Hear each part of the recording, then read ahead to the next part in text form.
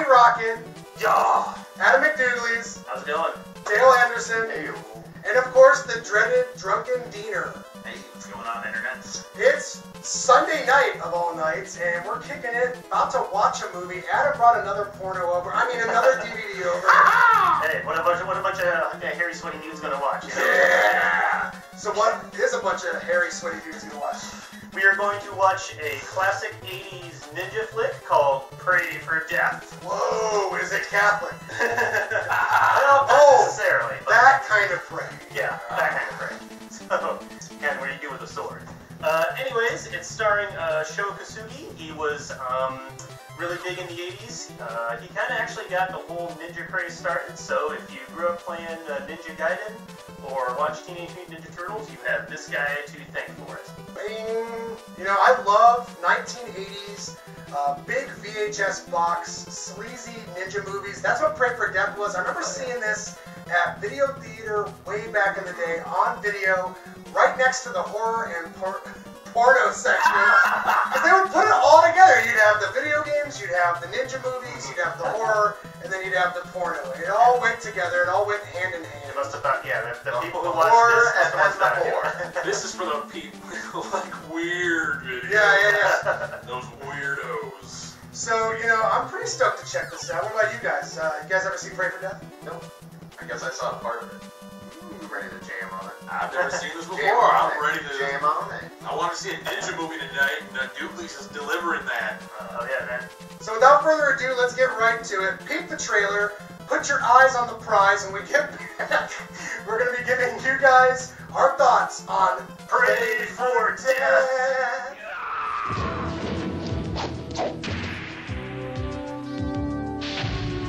He came to America to escape his past.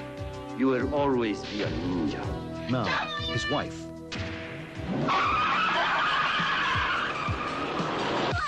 his children, his home, and his honor must be defended.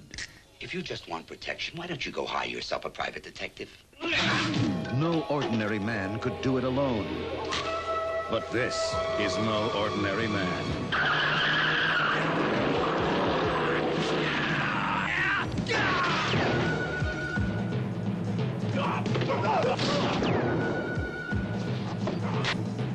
Pray for death. It's gone far enough.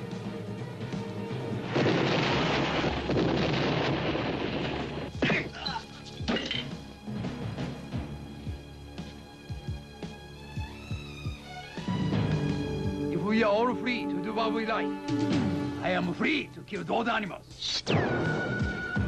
Yeah.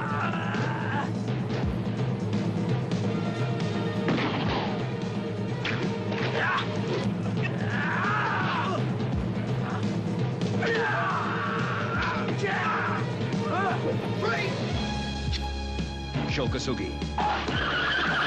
Shadow Warrior. Ninja, judge, and jury. Vengeance will be his. Pray for death. Please kill me! Uh, there's a lot I want to say about it, but first and foremost, let's talk to the man of the hour, Adam Duglies. What do you think of Pray for Death? Well, honestly, like, um, when I first saw this film, like, I mean, it, uh, it's, it's, let's just say it's cheesy, but cheesy in a very, in a really good way. Like, um, you know, it's, I mean, it's, it's got some, you know, flaws and all that. I mean, it's got some, you know, plot holes you could drive a truck through. Uh, but, uh, you know, you know, I mean, like, but, uh, you know, hopefully, you know, I have to say the positive aspects sort of make up for the, the more negative ones and all that. So, um, so I don't know. I mean, like it's just it's also got this you know really dark '80s vibe at times that you know in its favor. And uh, you know the, the villains in this movie are some you know real dirtbags who you just really want to see them like eat their just desserts and all that, which they finally do, thankfully. So. Um, Spoiler alert. yeah. I mean, I mean, movies called Pray for Death. I mean, you know, go figure. But, uh, but yeah, I don't know. I mean, it's you know kind of a commentary because it's about like you know this Japanese immigrant who's like you know secretly trained as a like goes to America with his family, starts you know tries to start his own business, but then kind of becomes you know the victim of like this organized crime syndicate and has to kind of like you know fall back to his old ways and take revenge and all that. So it was a classic you know Bronson-esque, you know, revenge flick, but you know, just done with a ninja, which you know works. I liked Pray for Death. You're right. There are plot holes in it. You just not only just drive a truck through, you can drive a double-decker bus. to be perfectly honest. Yeah. And um, you know, when it comes down to these ninja movies, like I said, I've watched a lot of them. Uh, this isn't my favorite. Uh, I'd have to say Revenge of the Ninja kind of is, is like the pinnacle. It's, it's, it's hard to top. My, my biggest gripe with Pray for Death, I'd have to say, is uh, its overall plotting.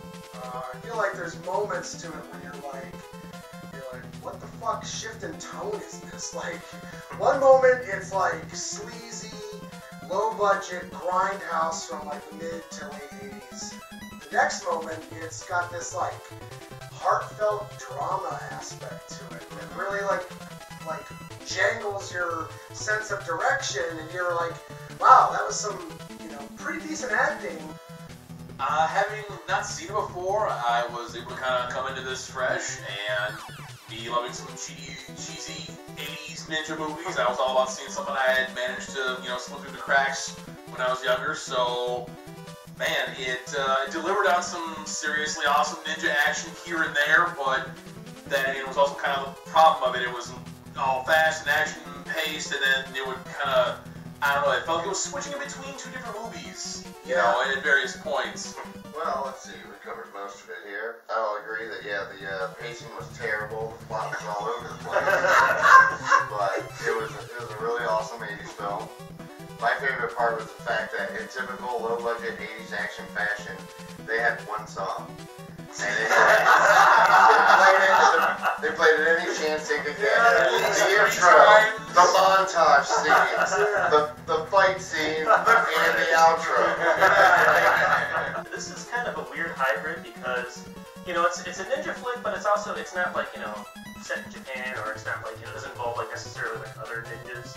It's just uh, it's kind of a fusion of like you know your, your traditional like you know revenge crime you know action flick and all that, and you know with a with a dash of ninja thrown in. Right, right. And it's So it's- really a dash though. That's like Yeah. the weird part about it.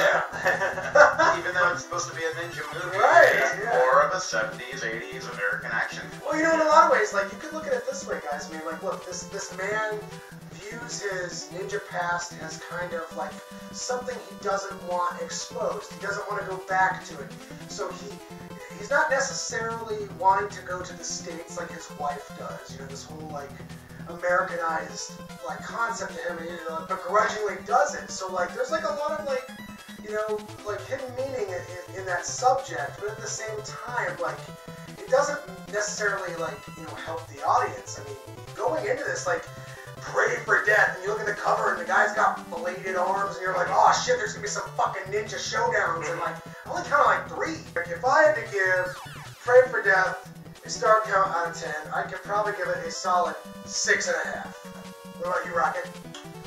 Well, it's pretty similar to what I was thinking. I'm thinking a six on it. I enjoyed it. Yeah, Um, it certainly had its flaws for sure, but uh, I don't know. It satisfied my need for a ninja movie tonight, so Yeah, give it a six out of that. ten, man. What about you, Dougal? Yeah, I'd have to give it six and a half too. I mean, it's unfortunately its flaws prevented it from being more. Like when the pacing went slow, it was. Yeah, Yeah, it's yeah. almost like they rushed through the action scenes, and then you're right back to shit pacing again. Yeah. Build it up. Uh, I gotta say that alcohol and uh, pizza helped this experience. where, where I could look away for a moment and come back, and I didn't feel like I missed anything. Well, there you guys have it. Wow. Pray for Death, definitely a adequate ninja movie, about six and a half stars. So if you've never seen it and you've watched a shit ton of other ninja movies in your day and you're missing this one, give it a peep. You could definitely do a lot worse. And with that being said, guys, I hope we've been informative. So until the next time,